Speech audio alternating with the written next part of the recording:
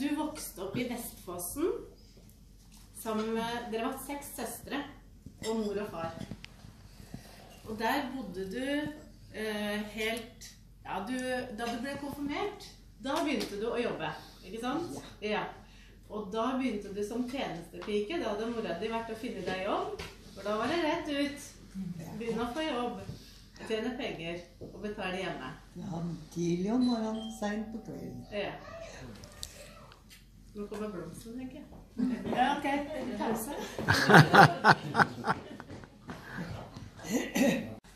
Men der var det akkord. Og da var det veveri. Og sto og, ikke sant, med stål mot stål og, og jobba med de her vevemaskinene. Og det var jo der hørselen din ble ødelagt. Ja. Så det har jo vært litt Det er ikke så lett. Men du har vært veldig, veldig flink. Og i dag så bytta jeg jo batterier som bare det i høreapparatet, så det er null problem. Der eh, på fabrikken så holdt du på ganske ja, lenge og lenge, men du traff han far, han Odd, mannen din. Da bodde du enda i Vestfossen. Men dere gifta dere, så flytta dere til Drammensveien i Mjøndalen, der han var fra. Barndomshjemmet hans. Der bodde dere i noen år. Ti år nesten. Ti år, ja. Opp i andre etasje. Eh, Så, jeg ja. Mora til en eh, far, da, som jeg kaller han. Odd. Så begynte dere å bygge dere hus oppe på Krok. Eh, og dere flytta så vidt inn der, tror jeg. Eh, ja. Halvannet år der. ja. Og da fikk en far jobb som på brannstasjon i Mjøndalen. Og da flytta dere inn i den eh, leiligheten oppe i brannstasjonen der. Og der bodde dere ca. ti år, tror jeg. Fem år. Fem år. Så der. Fra 55 til 55 60. 60. Ja. Og da jobba han som brann... Ja, brannkonstabel. Ja, ja. Og da dere hadde bodd der i fem år, da begynte han som vaktmester på rådhuset i Mjøndalen. Og da flytta dere inn i vaktmesterleilighet på rådhuset. I Mjøndalen. Så Mjøndalen er liksom gjennomgangstonen her. Og da bodde dere der helt til dere bygde opp på Hatten i Mjøndalen. Og det er jo fra den perioden, det var i 1978 at dere flytta inn der. Da var jeg ti år. Eh, Så da, da, jeg husker liksom best fra den eh, perioden. Bortsett fra at jeg har vært masse på rådhuset da, sammen med dere. Ja. Og det er litt av det òg at vi har jo vært veldig mye sammen. Både mor og, og André og jeg har vært masse, masse sammen. Eh, og da du kom til Hatten meg, så husker jeg jo at eh, jeg tok jo gjerne bussen aleine oppover til mor. Skulle være der i helga. André og jeg vi eh, lærte å sy hos mor på denne her tråkkemaskinen. Vi sydde masse forskjellige plagg. Jeg tror du sydde deg miniskjørt òg, jeg. André var flink til å si. og, og jeg husker jo jeg skulle på fest, og da hadde jeg vært og kjøpt noe stoff. Jeg skulle sy skjørt. Samme kvelden, vet du. måtte forte oss. Må du ha så mange hemper, altså, mor? Ja, jeg måtte det, for det var liksom inn, da. Ja, ja, nei, vi rakk det. Det var den kvelden. Jeg var ute på fest. Nysydd skjørt. Du var jo flink. God læremester. Ja. Um, vi eh, dyppa lys, er det for noe? Dryppa, ikke sant? Masse. Uh, og ikke minst så baka vi masse. Og jeg husker spesielt en eh, episode som eh, André, vi, vi husker vi bakte eplekake hos mor. Mor var kjempeflink til å bake kaker og eplekaker. Og det var det beste, syns vi. Da hadde vi bakt eh, eplekaka, og den ble så god. Og vi fikk lov til å spise med en gang, vet du. Og sjosj, sa det, så var hele eplekaka borte. Og vi skulle ha med oss hjem vet du, til mamma etterpå. Det var, helt, det var ikke mer igjen. Og da sier mor «Æ, Kom igjen, da baker jo jeg til. det var sånn. Så mat og kake, det er noe det aldri har mangla i huset hjemme hos mor. Det har vært et mathus. Eh, Vi har aldri gått sultne hjem derfra, for å si det sånn. Eh, I 1993 så flytta jeg opp hit til Narvik. Eh, Og i 2012, mor, i, i de åra etter at han far døde i 95-96 eller noe sånt, så, og du ble aleine, så har vi spurt deg flere ganger om ikke du ville flytte til Narvik sammen med oss. Så det har vært noen års prosjekt. Nei, jeg vil bo her. Jeg vil bo her på Halsenveien. Vil ikke flytte på meg. Ikke inn i leilighet. Ingenting. Vil bo der. Så vi holdt på i noen år. Eh, Og da vi bygde dette huset i eh, 2012, skulle vi flytte inn da. Eh, Så spurte jeg en gang for siste, så tenkte jeg jeg får sjekke, for da skulle vi nesten flytte inn. Så jeg, mor, vil du bli med? Og nå har jeg fortalt det i ettertid, at hun sier at du skulle si nei, men så kommer det ut ja! Så sier det. Og det var en veldig lur avgjørelse. Ja. Så sommeren 2012 Jeg tror det var 3. juli, var det ikke det? 3. eller 4. juli? Ja, 3. juli var det. Og da flytta to 13. juli. 3. 13. Var det 13.? Ja, så det. Nei, det var det. Det var 3. Ja, hun korrigerte meg. 3. juli. For da flytta to av de andre naboene også i, på Hattenveien. Akkurat samme dato. Ja. Så flytta vi opp hit. Det var litt rart, for du hadde aldri vært ute og flydd før. Alt jeg flyttet til her oppe da, Ja. jeg var jo litt eh, Spent. Uh, Det kom så brått på meg. Jeg var jo ikke forberedt. Men så tenkte jeg med meg sjøl Det sto ei god seng. Ellers var det ingenting. Det var tomt. Og tenkte jeg ja, Anette ordna opp, og vi var og handla. I sammen, og det blei så fint. Men jeg glemmer ikke det eneste senga. Det jeg hadde tenkt på med madrass og alt sammen. Så jeg så godt. Og ifra første dagen, når jeg tenker på det det ikke var møbler eller noe Jeg trives med en gang. Jeg kommer hjem. Det føler jeg nå. Jeg kommer hjem. Så, og jeg har ikke lengta tilbake. Nei. Så har Anette spurt om vi skal reise ned en gang. da. To, vi har vært på to jenteturer. ja. Ja. Nei, nå vil jeg ikke. Den siste reisen, Den skal bli på fanget, sier du. det skal på fanget ditt, ja. Det har sagt helt siden du kom hit. Du skal ikke noe nedover. Vi nye, vet du. Ja. Jeg er i hvert fall veldig veldig glad for at du flytta oppover. Eh, og jeg syns det er eh, Det er så godt at du aldri har lengta hjem eh, og savna huset. Og- Og det tenkte jeg da vi dro fra Hattenveien den gangen eh, som siste og sa ha det til huset, så tenkte jeg at det her, vi kommer til å lengte tilbake igjen og savne det. Ikke tenkt på det heller, og ikke av mor heller. Så det er veldig, veldig fint. Så vi er veldig glad for at du sa ja til å flytte opp. Og jeg har så Når jeg tenker på det svære huset og sitter der nå Alene, ja. Nei, nå er det lite godt og varmt og koselig. Ikke For når du er ung, så skal du ikke ha lite. Du skal ha det stort. Mye rom. Men når du blir eldre, så vil du ha det godt, varmt. Ikke for svært. Når du blir eldre, òg, så vil du ha et lite stue. Det vil du ha. Godt, varmt. Og så trives du godt i Narvik. Du syns byen er fin, Ja. folk er hyggelige og stortrives med mørketida.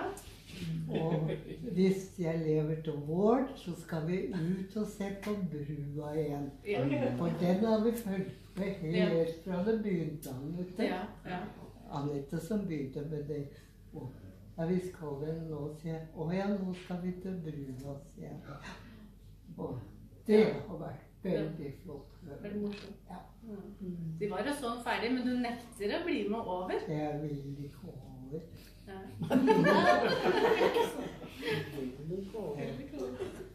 Nei, det er rart. Det er høyden. Høydeskrekk. Ser ikke det når du er oppå den. Nei. Jeg har lyst til å gratulere deg masse med dagen, mor. Utrolig du, Jeg husker at vi snakka om at du skulle ha, være med i konfirm- konfirmasjonen til Ludvig. Han sto jo til konfirmasjonen i, i vår. Og for mange år siden så sa han nei, jeg lever ikke til det, jeg, skjønner du, sa Jo Jo da. Nei, men jeg sa etter slutt sa jeg sagt at jeg skal leve til hvert fall 100-årsdagen min. men Da vil jeg ikke mer. Er Ja, men da er det jul. Ja, ja nå har du bursdagen en dag etterpå. Og så ser jeg Herlighet, skal jeg aldri få lov? kommer nye og nye bursdager hjemme. Huff a meg. Skål så mye for deg, mor. Og tusen takk for at du ble med opp hit. Og tusen takk for at du har blitt 100 år. Det er superbra å være så frisk og rask og helt klar. Tusen hjertelig takk for alle dere også som har kommet. Det har vært veldig, veldig, veldig bra. Tusen takk for at dere har kommet til meg. Det var hyggelig.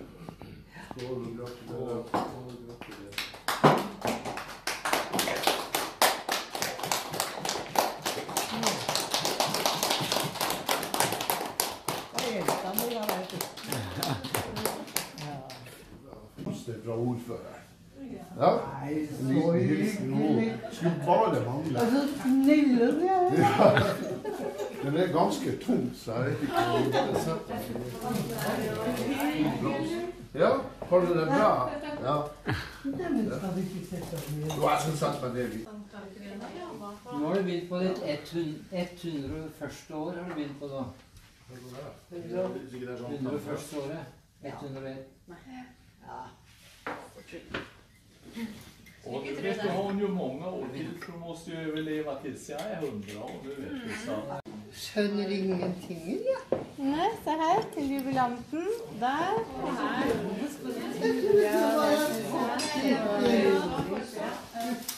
Det er fra oss. Det Er fra dere. Fra oss, ja. Fra Frode Andrea. Ja. Det er sånn her. Hvorfor, hvorfor kjøpe så mye sånn? Nei, du får nå se, da. Ja, jeg skal begynne. Det skal jeg begynne Ja, ja, ja. Det kan du velge. Ja, men jeg er nysgjerrig. Moro å se hva det er. Det vil jeg gjøre på. Så vi ser hva du har fått. Det er, like, det er like viktig det som jeg har fått fra Harald. Jeg liker det. Like viktig det man vi gjøre. Han Harald, ja. Hvem var Harald igjen? Ludvig, Viktor, Anette og Dag. Emma. Hermine. Nei, fra- fra Hermine. Ja, og Emma. Hermine. Ja, eh, han fant meg på flybussen første gangen jeg kom til Narvik. Eh, ja. Eh, og da ble jeg kjent med Lars-Erik, fordi han var veilederen til han Dag. Og etter det så har vi hatt veldig mye med hverandre å gjøre. Lars-Erik var også som medveileder på, da jeg var stipendiat og tok min doktorgrad. Og han har fulgt oss i alle år etterpå. Og ikke bare det, men vi er også veldig gode eh, venner privat. Og etter at vi flytta hit ja, Vi bodde på Strømsnes, da var det mye der også hos oss. Men etter at vi flytta flytta hit, så har du også blitt bra kjent med Lars-Erik. Han har kommet og bodd masse her hos oss, så vi har jobba sammen og hatt masse morsomt. Koselig gubbe. Ja. Ja. Og så, under disputasen til han Dag, så framførte han en sang. Under disputasen min så framførte han en sang for meg. Under konfirmasjonen til Ludvig så framførte han en sang til Ludvig. Og Det er ikke sånn til meg. en liten fin. Ja, vær så god. Ja, jeg kan bare stå litt er.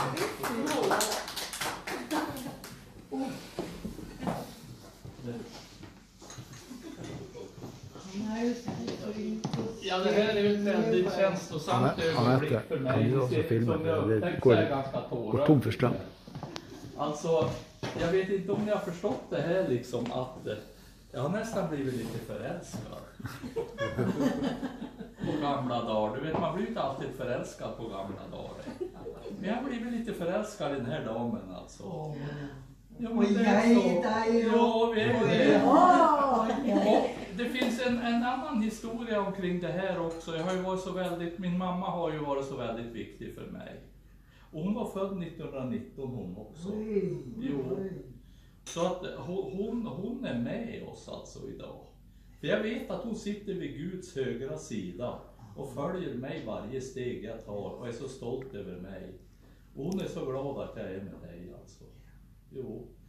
Så det här är ju liksom eh, nästan en liten... Jag är mamman din. Ja, du är inte bara mamman, alltså du är min lilla förälskelse. ja, men jag menar allvar liksom. Vi har haft väldigt utbyte under den här tiden liksom. Och varje glad är jag så upprymd varje gång jag har varit hit idag. Och jag har inte riktigt talat om det för Dag och Anette, men det är nästan så att det är ändå mer med dig alltså. Det är för att du är så positiv och liksom jag känner mig upprymd alltså varje gång. Så att nu ska jag framföra min lilla sång till dig alltså. Och, och du vet, jag måste ha, jag hoppas att jag kan göra med extra känsla Jeg ikväll. jo jag tror att alltså, jag känner mig extra rörd alltså då det är någon som jag vill göra det verkligen alltså. Och jag måste ha en vacker flicka omkring mig för att jag ska kunna göra det här med känsla. Och her har ni en vacker flicka altså. Nå kallar jeg henne flicka. og, og, og, vet jeg har jo samisk ursprung også. Da skal du få se på presenten. Og det har å gjøre med min mamma og det har å gjøre med også mitt samiske ursprung. Ja. Min mamma altså var eh, halvlapp så å si. Så da skal jeg framføre deg til deg i dag. Jag er lapp och jag har mina renar. Jag har trolltrummans rytm i mitt blod. Och jag kan jojka och hedniska stenar. Minns jag ännu där en gång jag stod. Här vid foten av snöklädda fjället finns en plats dit jag drar varje vår. Det är inte något särskilt med stället. Det är likadant år